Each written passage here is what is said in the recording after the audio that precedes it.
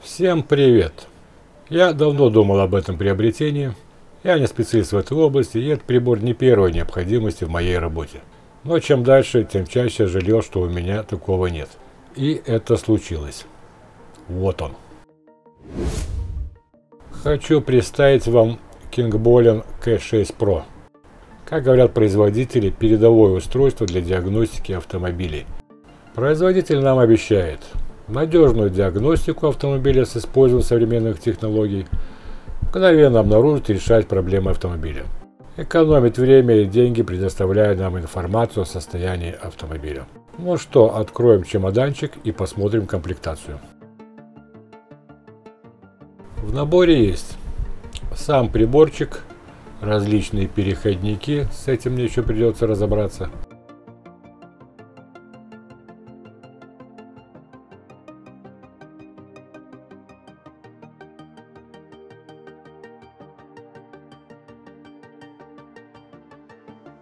провода для теста аккумулятора,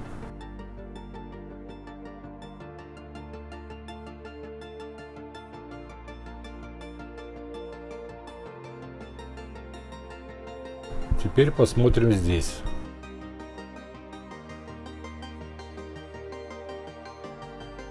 Тоже куча переходников. Кто знает для чего они, напишите в комментариях.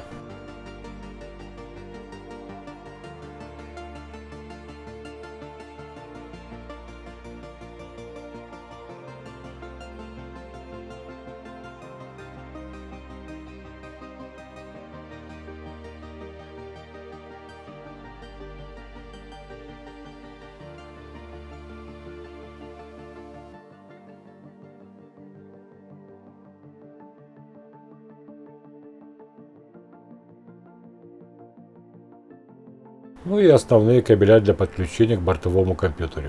АБД-2 и АБД-1. Также переходники для зарядки прибора.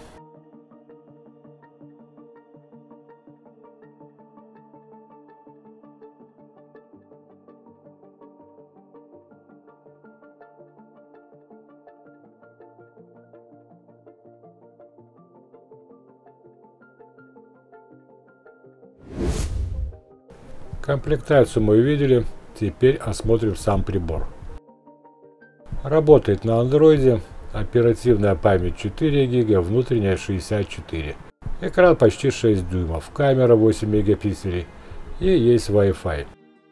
Также лента для печати результатов проверки. Слоты для подключения доскопа и накопителя и слот Type-C для зарядки. На обратной стороне находится камера, вспышка и TMC антенна. Это разъемы для кабеля проверки аккумулятора и для кабеля ОБД. Проверим его меню и посмотрим, что мы можем диагностировать. Я уже установил русский язык. Итак, диагностика автомобиля. Марки автомобилей разбиты по разделам, что удобно. Европейские, американские, азиатские и китайские.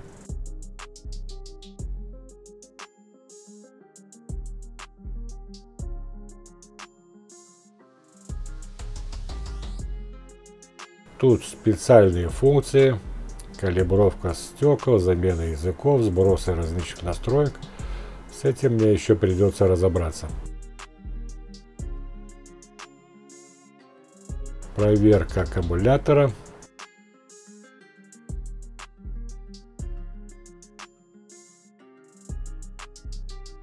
Проверка датчиков давления в колесах тоже проверяет по марке авто, где сможет ли проверить неоригинальные датчики.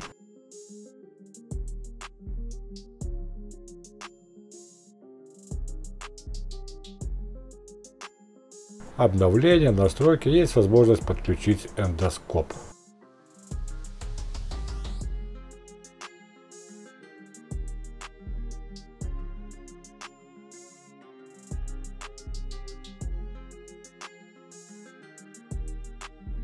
Ладно, начнем тестирование с проверки аккумулятора. У меня как раз стоит в мастерской.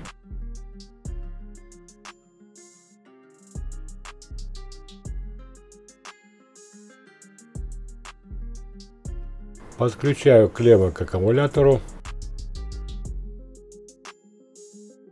Запускаем процесс диагностики.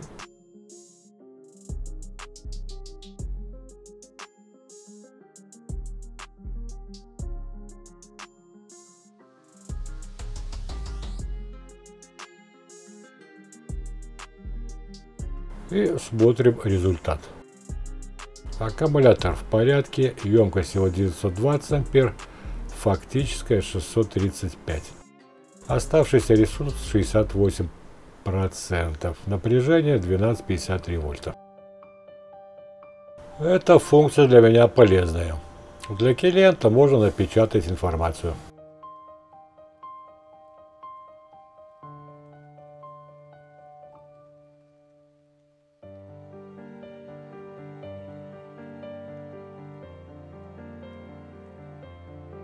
С проверкой аккумулятора закончили. Теперь посмотрим, как прибор проверяет датчики давления колес. Проверять будем на этом BMW. Включаем функции проверки, выбираем марку и модель, включаем скан.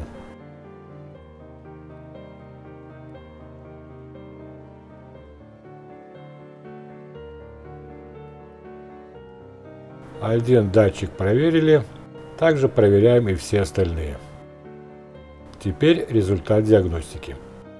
Итак, батарейки в норме, давление тоже, нет ничего проще. Ну а теперь самое интересное. Диагностика авто. Проверю свой Volkswagen Tiguan.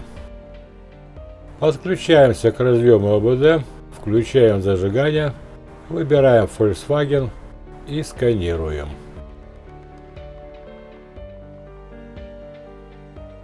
Ждем.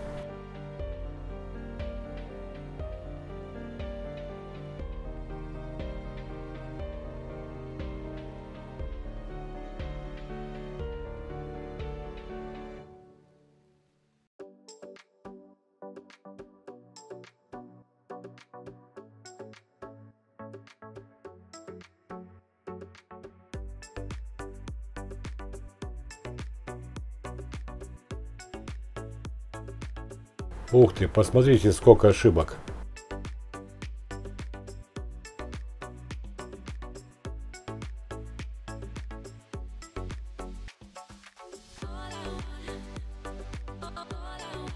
Удаляю ошибочки.